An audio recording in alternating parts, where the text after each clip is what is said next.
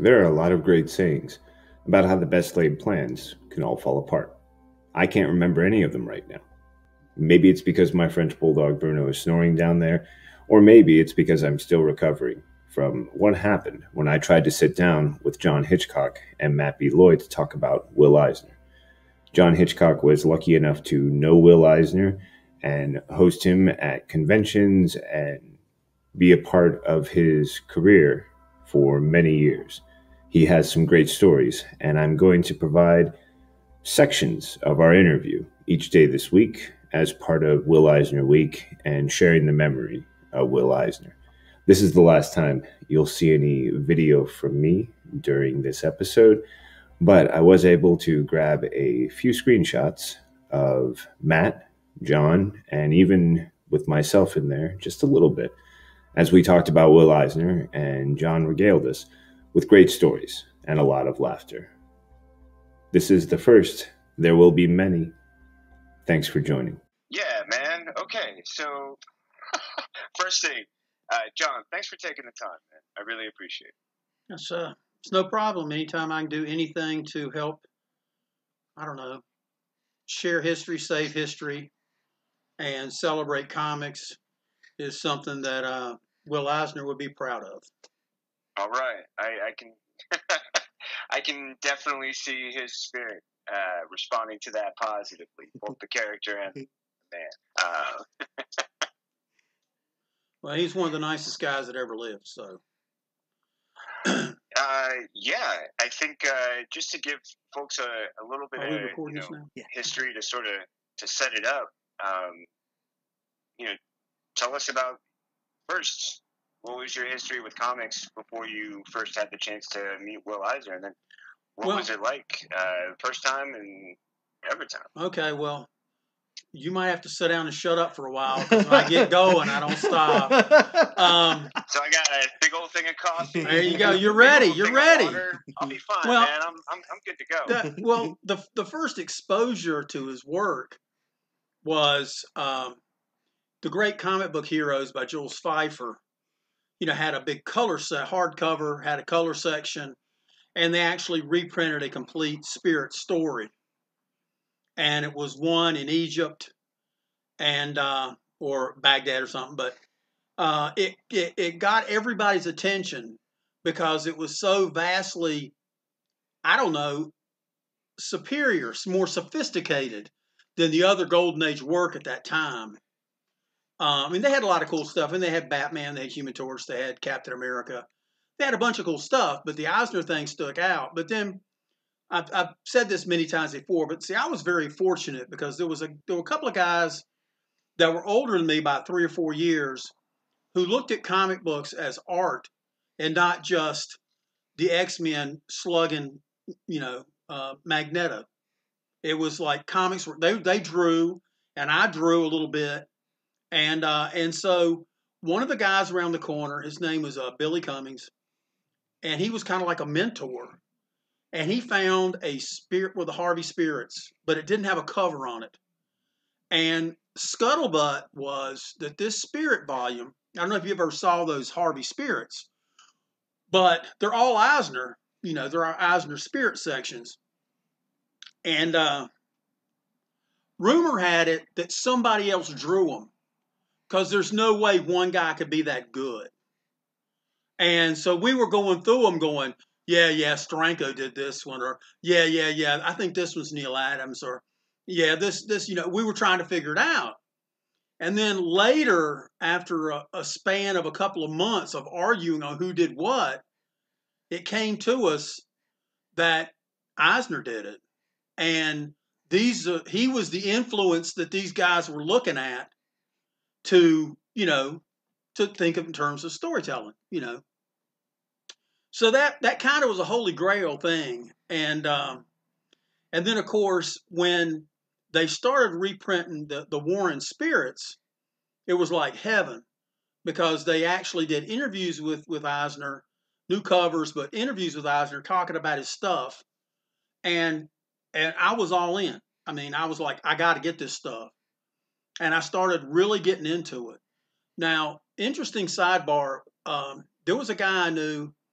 Um, whose name was Tom Wimbish, and he actually went to Atlanta and he got Will Eisner to sign a Spirit magazine. And I asked permission, could I touch the signature? because it was like it was like a holy grail thing. That's how much everybody admired this guy. Because they knew that he was like he was like the guy. He was like the man. And uh, anyway, so we've already talked a little bit about that last time, right? Yeah. But yeah. Yeah. well, real quick, um, we started we started throwing comic conventions in Greensboro in '83, and the reason why we did that is I was corresponding at that time with Alex Toth, and Alex asked if there was a local convention he could go to, and uh, and I said, well, there's one in Charlotte. So I went down to the, com- the Acme Comics downtown, which was our local store then, and I told John Butts and Tom Wimbish, who ran the store, and I worked there. I said, look, Toth wants to come to a show. Well, anyway, uh, they were like, well, I said, should I send him to Charlotte?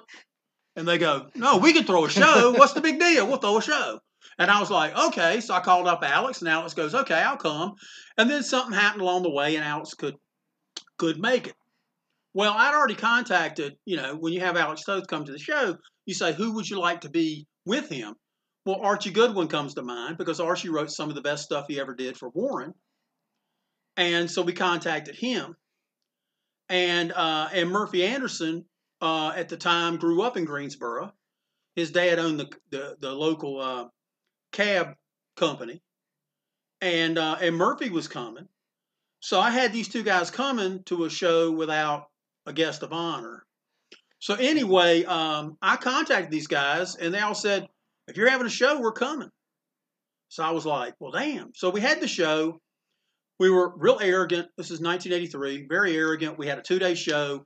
Total disaster. We lost about five hundred dollars. couldn't fill up the room. Couldn't uh, couldn't couldn't even sell all the dealer tables.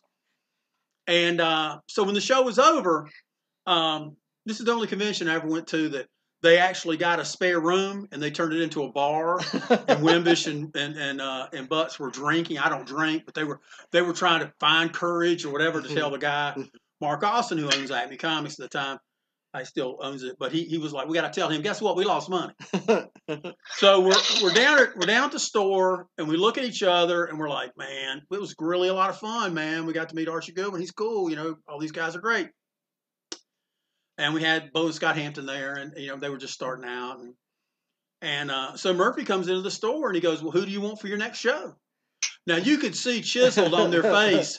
Next show, you got to be shitting me. I mean, we just lost money, and and and he was like, "Well, if there's one guy you'd like to have, who would it be?"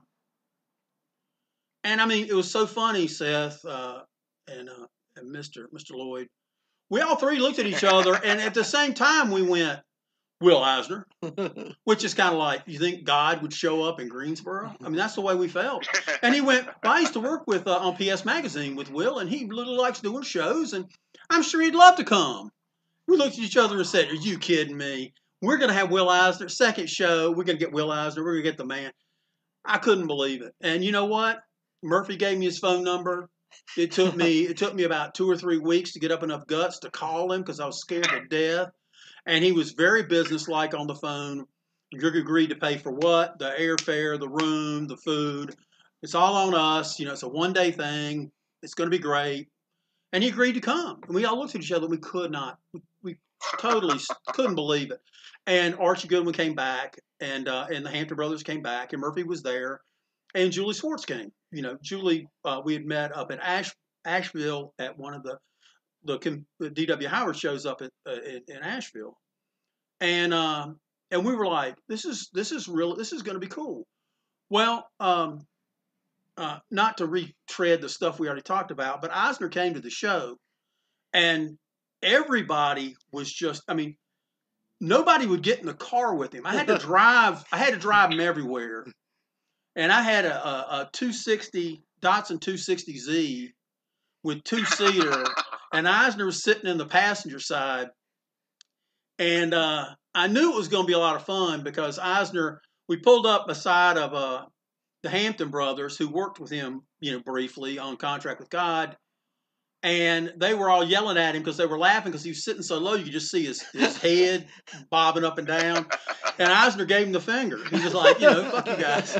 And I was like, this is my guy. You know, he's he's because the thing about Eisner is you began to figure out he had a great sense of humor.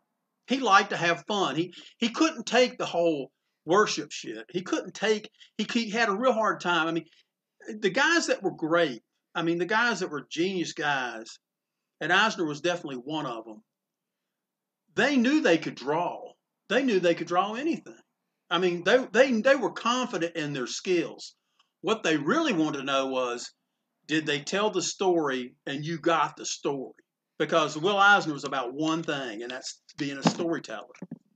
He was a storyteller, and that's where his most interest was was being able to tell the story. And um, I told this story at um, the place was mobbed. We had over a thousand people, this little Holiday Inn, and and so we're having. I, I told this story as memorial in San Diego, and uh, I was the only person that stood up from the from the crowd, and I just said, "Okay, here goes." I came from Greensboro, North Carolina. I'm gonna tell you something. And uh, we had a dinner, a private dinner set up, and everybody was there at the dinner, and I was sitting next to Eisner, right? And he's having, you know, steak and pasta or whatever the hell it was. And um, and everybody at the table kept elbowing me, go, John, ask him. You got to ask him. ask him the question, John. You're the only one that can answer. Ask him the question. And so Eisner's listening to this, and I'm like, look, I can't ask him this. I can't ask him this question. And Eisner turns and looks at me and he goes, John, we're old friends now. Ask me any, ask me anything you want. And I looked at him. I said, okay. How do you stand being Will Eisner? I mean, how do you get up every day and look in the mirror and go, damn, I'm Will Eisner? I mean, how do you handle that? I mean, how do you deal with that? Because, in my opinion, the greatest comic artist in the world. You know, you did some of the most incredible stuff of all time. And the spirit's an iconic thing, and everybody knows about it. I mean, how do you deal with that? You know, I mean, how do you deal with that? And the whole table fell out laughing. and he looked at me and he went, "Well, John, I don't look at it that way. Uh, you know, I have to I have to get up and take out the garbage. My wife makes me take out the garbage. I don't look at it that way. It's very flattering that you would say that." But then he grabbed uh, his fork and he pointed his fork at me and he goes, "But don't get me wrong. I know I'm good. I'm damn good." and the whole place fell out laughing because he was, you know, and, and he knew what he was going to get with that. You know, he knew. But you know, uh, to tell this story real quickly, I when he first got to the show, I took him to his room, and he was by himself. He wasn't traveling with his wife Annie then, and uh, and I'd gotten a fruit basket because I'd heard that in Atlanta he liked to eat fruit. Well, who doesn't like to eat fruit? So I was so I went and got him a fruit basket. So I went after I let him settle in. I went over and knocked on his door to get the, had the fruit basket. And he opened up the door and he goes, "Oh, John." I said, "Yeah, well, I heard that you really like fruit. I bought you a fruit basket." And he goes, "Well, come on in." Now, Will Eisner was wearing a pair of slacks and a T-shirt, a hoot T-shirt, just like the guys he drew in in those stories in the 30s and 40s. You know, the old, you know, the wife beater. The, you know, really, really cool and, and he goes, "Come on in," you know. And so I set the fruit down, and he grabs a, a peach, and, and I grab a pear, and he said, "Let's talk about comics." And I'm telling you, I'm telling you, buddy, we sat there for about an hour and just talked, and it was incredible because he Eisner was one of those guys that had very specific questions about things. a little bit of this, a little of that. What about this? What about that? Blah blah blah. What what do you what do you like to read? Blah blah blah. He was he was great, and we really bonded and became friends, sitting in there you know, swapping stories over a bowl of fruit, and mm-hmm. and we were we remained friends the rest for the rest of his life. And uh, he stayed at the Westgate in San Diego. I did too.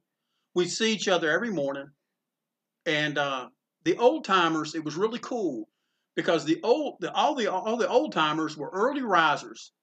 So if you you know, and I and so what I would do, and this happened uh, in Atlanta I'll tell this story. I was in Atlanta, and all the other guys had crashed out, and it was like 7:30, and I'm like, I'm going to go down and have breakfast. You know, I didn't, I'm not hungover. I don't. So I, I run down there, and there's Eisner sitting in the Omni, if you remember the Omni, yeah, I do. I which do was a beautiful Yeah, place. Those great elevators that were always broken. But anyway, That's true. and so I went, I, I, and there's Eisner, and he goes, John, come over and join me for breakfast, you know. So I go over and sit with him, and we're sitting there talking. And he said, John, would you do me a big favor? And I said, Well, sure, anything, you know, because I'd kind of gotten over the fact that I was, you know, talking to God. And I was like, Yeah, what do you want? And he goes, I don't have any family with me. Would you be my family this weekend? Because I don't want to eat by myself. And I said, Well, sure, anything you want. And he goes, Well, you know, we can always have breakfast together and we can have lunch together because I just don't want to eat by myself. And I was like, be my honor. That'd be great. Sure, that's super, you know. And uh, so um, a couple of my friends finally did show up, and there I am sitting there with Eisner going, hey, I'm sitting. Look who I'm sitting with. You dumbasses are sleeping, and I'm having a good time. And uh, and it was really funny because it was like, uh, I guess this was on Saturday, and the show was going to end on Sunday.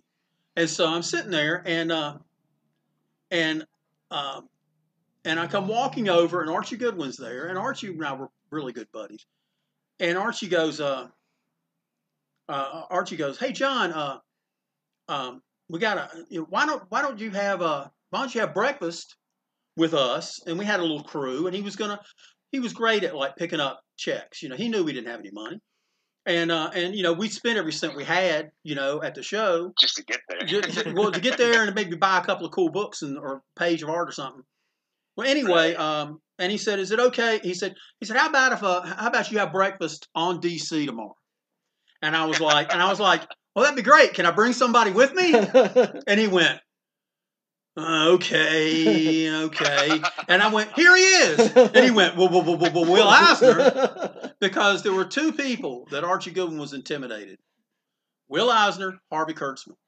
He couldn't take it. It was too much. They were idols. You know, he, he couldn't take it. Some people are like that. Me, I sound like I'm from Mayberry, and confidentially, I am from Mayberry.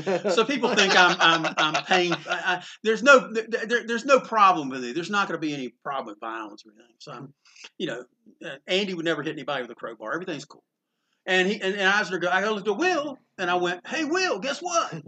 We get we get free breakfast tomorrow. It's on DC. Archie's going to pick it up. And Eisner goes, We get free breakfast? And he goes, Man, I'm going to have steaks and eggs for breakfast tomorrow because this is all on Liebowitz and Donenfeld. I always wanted to get some of their money. And he's, and he's going, Yeah, I like that. And I went, I went, and I looked, I looked at everybody and I went, See, you bring up free food.